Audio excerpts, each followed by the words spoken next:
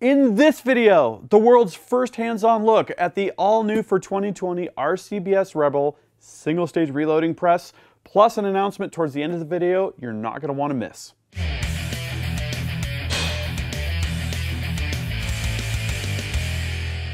Gavin Gee here from UltimateReloader.com. Here's the game plan for this video. We're going to unbox the RCBS Rebel Press.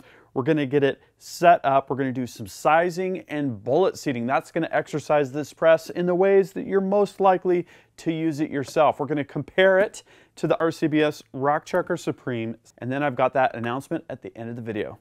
Let's go ahead and get the box open. Now, I haven't even looked in here. I saw one of these at the 2020 SHOT Show when I was talking with Will at the RCBS booth. This is my first peek for real. Okay, of course, we've got the instruction insert there. This is a massive press. It's 22% increased mass compared to the RCBS Rockchucker Supreme that it essentially replaces. Nice heavy duty handle. RCBS does a nice job with those. And there it is. Look at that thing. That is, ab that's absolutely massive. This thing is a tank. All right. So let's walk through some of the features straight away. This press has the largest opening of any RCBS O-frame press. It's increased compared to the Rockchucker Supreme. I'll give you actual numbers on that when we do the side-by-side -side comparo. It's got a wider base, so it's going to be more stable on your bench. This is the same mounting holes and footprint that you have on other presses like the Summit or the Rockchucker Supreme. So if you already have one mounted or if you have an inline fabrication ultra mount or one of the RCBS mounting plates, this is going to bolt right on. The primer ejection is now through the ram. You could basically put a trash can under the press. It's this hole right here and the primers are going to pop out and go straight into the garbage can. And this was based on your feedback to RCBS. The Rock Chucker Supreme has the plastic ramps behind the ram and uh, you know that could be a little bit uh, troublesome under certain situations and that kind of thing. We've got the Zerk fitting for the lubrication of the ram. I always like this because it's just less mess to be able to put your grease gun on there, give it a couple pumps and you're good for, for quite a while. It's got the standard 7 8 14 bushing. This bushing is removable and that means it should work with the Hornady lock and load bushing conversion kit or the Lee breech lock uh, type system if you want to convert it. A lot of flexibility there. Uh, this press has the ambidextrous handle mounting, so if you're left-handed or right-handed, you're going to be good to go there. It's got the same precision machining processes and tolerances that we would have on the, the late model Rockchucker Supremes. And if you saw my 14 press shootout, that Rockchucker Supreme was very, very high ranking across all categories. So I feel confident in the, the heritage and DNA of this press, and I like the fact that it kind of takes everything to the next level. Now, one thing you'll see that's missing is on-press priming. I just talked to RCBS about this. I asked, hey, you know, there was on-press priming on the Rockchucker Supreme. Why doesn't the Rebel have it? What they found was 90 to 95% of people didn't use it and preferred a bench mounting mounted priming system or a hand uh, priming tool. So it simplifies the press. It gets some of that mechanical uh, mechanism out of the way and it helps to cr create maximum value in terms of not adding to the cost. So that is kind of a basic walkthrough of the press. I'm going to take a moment to get this mounted on my inline fabrication quick change mounting plate. Uh, we'll get it attached to the press, look at it side by side, do some loading. This is going to be fun, so I'm going to get to it. When it comes to setup for the RCBS Rebel, there's really not much to do at all. It's really just two things. The first thing you're going to want to do is to mount the press to your bench. You can drill holes straight through the top of your bench surface and use washers and nuts on the back and bolt it down.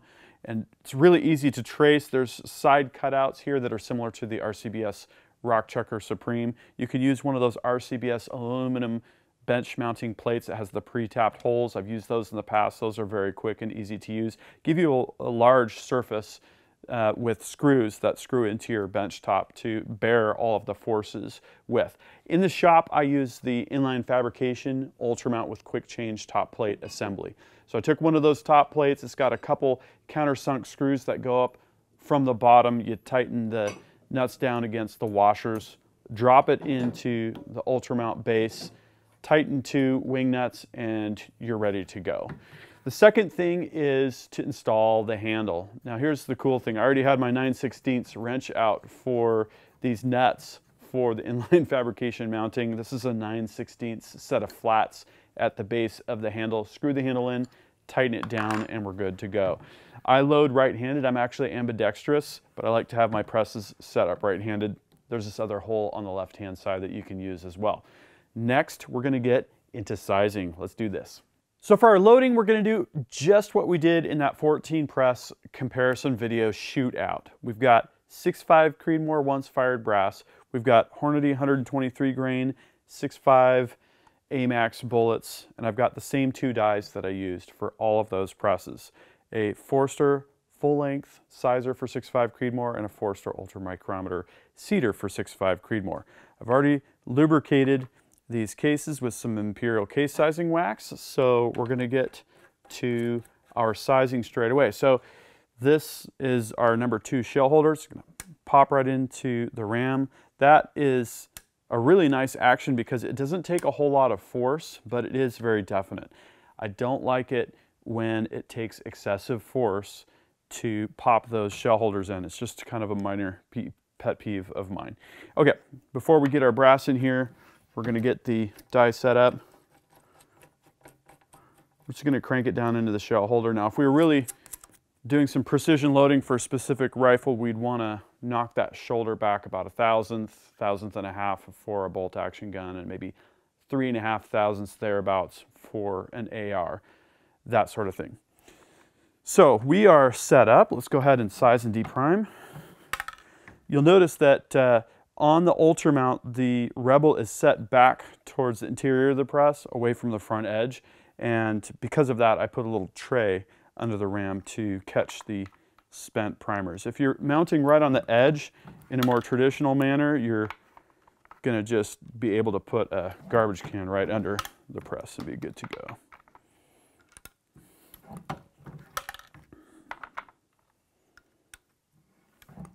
Feels really good. There's a hard stop. This is not a cam over press. It's got the hard stop and it's, you can feel it very clearly.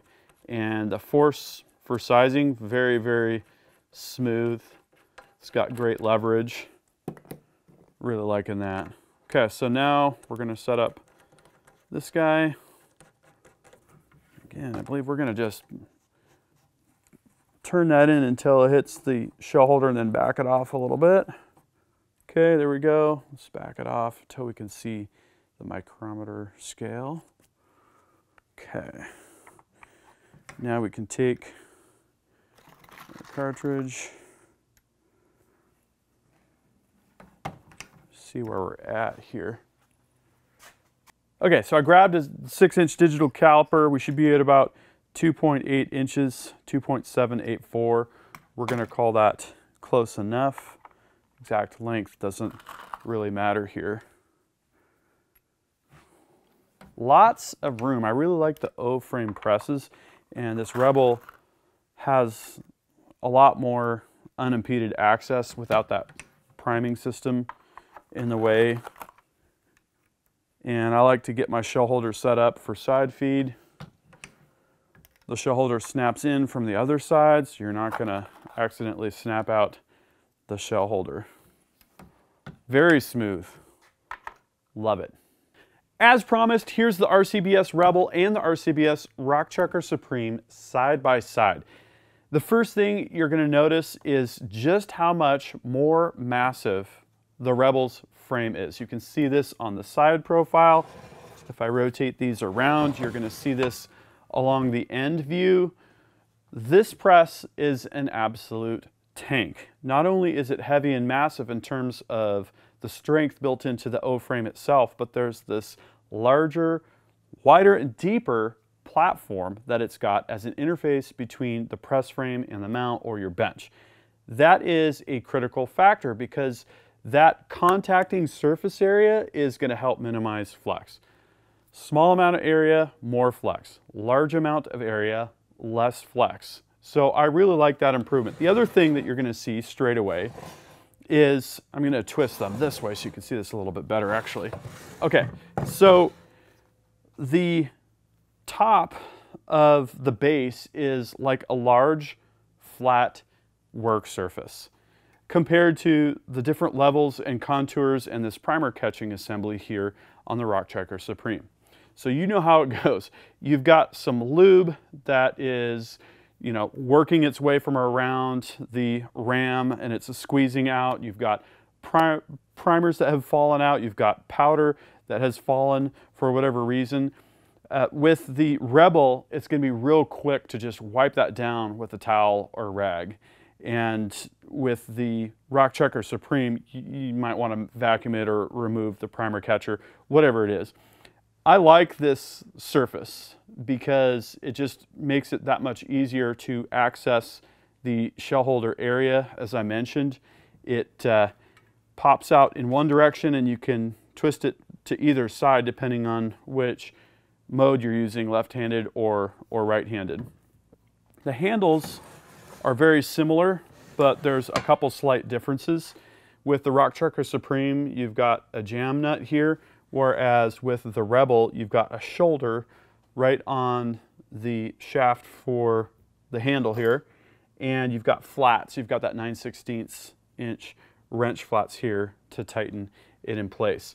The interface where that shoulder meets is machined, whereas it's powder coated on the Rock Rockchucker Supreme, and that's fine because it's got that jam nut.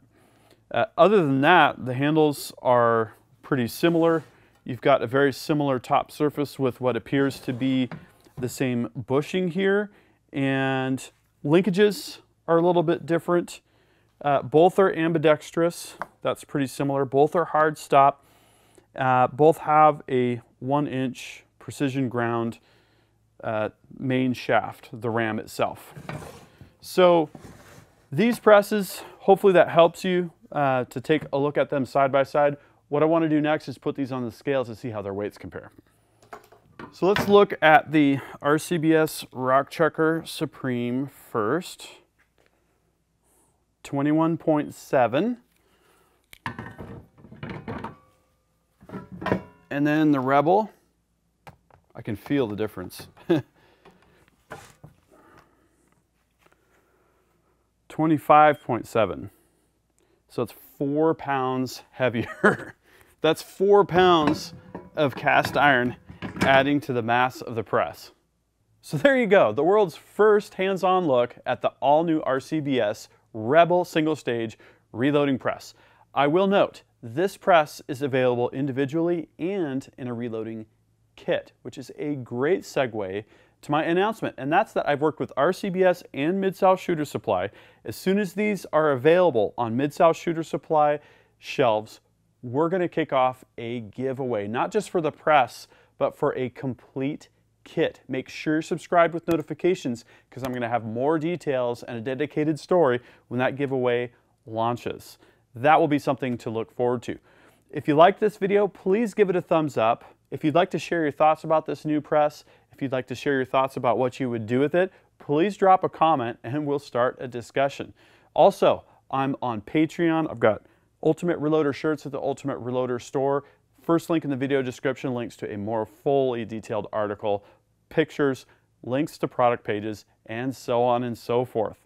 Thanks for watching. Until next time, happy shooting and happy reloading.